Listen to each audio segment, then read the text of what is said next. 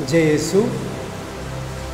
आज वर्ष का सोलवा रविवार है और मैं आपको एक सच्ची घटना बताना चाहता हूँ।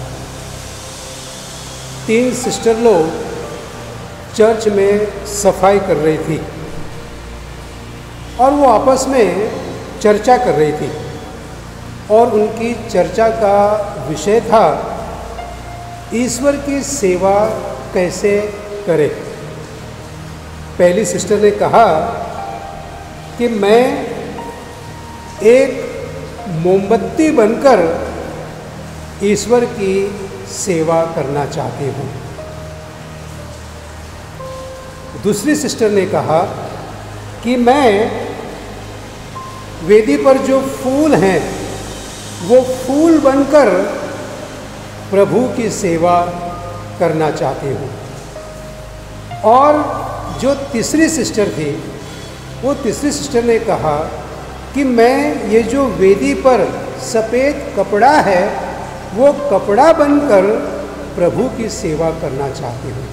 क्योंकि हर समय जब पुरोहित मिस्सा बलिदान चढ़ाता है तो वो आकर सबसे पहले वेदी के ऊपर जो कपड़ा रखा हुआ है और जो वेदी है, उसका चुंबन करता है। भाइयों और बहनों, हम सब जन प्रभु की सेवा करना चाहते हैं, प्रभु की उपासना करना चाहते हैं और प्रभु को हम अपने कार्यों से प्रसन्न करना चाहते हैं। ठीक तीन सिस्टरों की तरह, मार्था और मेरी, दोनों बहनें भी प्रभु की सेवा करना चाहती थी। मार्था ने जब देखा कि प्रभु यीशु क्रिस्त उनके घर पे आए हैं तो वो तुरंत किचन में जाती है, खाना बनाती है, ताकि अपने खा, स्वादिष्ट खाने से, भोजन से वो ईश्वर को खुश कर सके। लेकिन वो परेशान थी। उसके मन में सिर्फ़ एक ही बात थी कि मेरी बहन मरियम, वो क्यों मेरी मदद नहीं कर रही है? और ये बात को लेकर के वो परेशान थी। लेकिन मेरी, उसने प्रभु के चरणों में लिपट कर वो बैठी रही।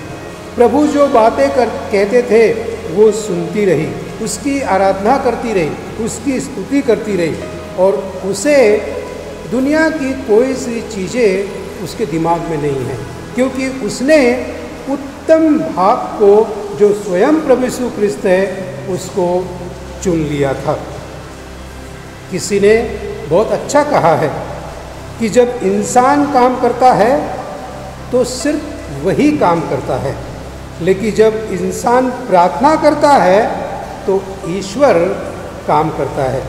जी हाँ प्यारे भाइयों और बहनों, इसीलिए स्तोत्र। एक सौ पद संख्या एक में हम पढ़ते हैं, यदि प्रभु ही घर नहीं बनाए तो राज मिस्त्रियों का श्रम व्यर्थ है। स्वयं प्रभु कृष्ण ने संत योहन के सुसमाचार में अध्याय पंद्रह, वाक्य पाँच में कहा है, मैं दाखलता हूँ और तुम डालियाँ हो। जो मुझमें रहता है और मैं जिसमें रहता हूँ, वही बहुत फल देता है, क्योंकि मुझसे अलग रहकर तुम कुछ भी नहीं कर सकते। कृष्ण में प्यारे भाइयों और बहनों, अगर हमें फलदायी बनना है, अगर हमें जीवन में अच्छा कार्य करना है तो हमें प्रभु को प्राथमिकता देना होगा। प्रभु को हमारे जीवन में पहला स्थान देना होगा। जिस प्रकार से मरियम ने प्रभु यीशु को पहला स्थान दिया था। भाइयों और बहनों, आज की उपासना हमें मेहमानों का कैसा आदर करने का, उनका कैसा सत्कार करने का इस महत्व को बताती है। घर में आए मेहमानों का हम किस प्रकार से स्वागत करते हैं, उनसे किस प्रकार का हम बर्ताव करते हैं। आज की उपासना का जो पहला पाठ है उसमें हमने देखा कि इब्राहिम अपने तंबू के पास में बैठा है और वो देखता है कि तीन पुरुष लोग उसके सामने खड़े हैं। इब्राहिम दौड़ करके उनसे मिलने जाता है, उन्हें दंडवत करता है, उनकी सेवा करने के लिए उनसे आग्रह करता है कि मुझे आपकी सेवा करने का मौका दीजिए। वो उन्हें पानी पिलाता है उन्हें पैर धोने के लिए कहता है और कहता है कि आप थोड़ा समय विश्राम करो और मैं तुरंत आपकी भोजन की व्यवस्था करता हूँ। भाई और बहनों, इब्राहिम ने अपने घर आए मेहमानों का एक उत्तम प्रकार से उनकी सेवा की। पाठ हमको बताता है कि इब्राहिम ने दौड़ करके उनके पास में आया। उनकी सेवा की, उनको बैठाया, उनको पैर धोने को कहा और उनसे कहा कि थोड़ा समय विश्राम कीजिए और मैं आपके लिए भोजन की व्यवस्था करता हूँ। भाइयों और बहनों, अंदर जाकर इब्राहिम अपनी पत्नी से कहता है कि, सारा, जल्दी अच्छे से अच्छा खाना बनाओ। मेहमानों को खाना परोस, परोसना है। लेकिन खुद उनके सामने वो खड़ा रहा। इब्राहिम उनके साथ खाने के लिए नहीं बैठा। उनको खाना परोसता रहा। उनकी सेवा की। मेहमानों ने स्वादिष्ट खाना खाया। वो खुश हो गए और उसकी सेवा को देख करके, मेहमानों को सेवा को देख करके तीनों ने इब्राहिम और सेवा को एक वचन दिया। और क्या वचन दिया? कि आज के ठीक एक वर्ष के बाद में आपकी पत्नी आपको एक बच्चे का, को जन्म देगी। एक पुत्र को जन्म देगी। भाई और बहनों, जब भी हम अपने घर आए मेहमानों का स्वागत करते हैं, उनकी सेवा करते हैं तो ईश्वर उस सेवा का फल हमको प्रदान करता है। जैसे कि आज के पहले पाठ में हम लोगों ने सुना। सुसमाचार में, दोनों बहनें, मार्था और मरिया, इब्राहिम की तरह, वो भी ईश्वर की सेवा करती है। लेकिन मरियम ने उत्तम भाग को चुना, प्रभु यीशु को चुना।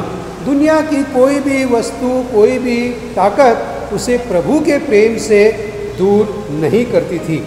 और इसीलिए प्रभु कहते हैं कि, मार्था, तुम अन्य बातों में परेशान हो, लेकिन मरियम ने उत्तम भाग को चुना है। और कोई भी उससे वो उत्तम भाग छीन नहीं सकता है। कृष्ण में मेरे प्यारे भाइयों और बहनों, हम लोगों ने कौन सा भाग चुना है? प्रभु यीशु कृष्ण को चुना है या समाज की वस्तुओं को चुना है समाज के लोगों को चुना है समाज की जो अच्छी अच्छी बातें हैं, वस्तुएँ, उनको चुना है ये जो वस्तुएँ हैं, ये जो लोग हैं, ये क्षणिक हैं। कुछ समय के लिए खुशी मिलती है, कुछ समय के लिए आनंद होता है, लेकिन सच्चा आनंद, सच्ची खुशी सिर्फ़ प्रभु यीशु क्रिस्त को चुनने में होती है। आइए आज की उपवासना में हम प्रभु से प्रार्थना करें। कि हे प्रभु, आपको चुनने की, आपको स्वीकार करने की, आपकी सेवा करने की मुझे मदद कीजिए। God bless you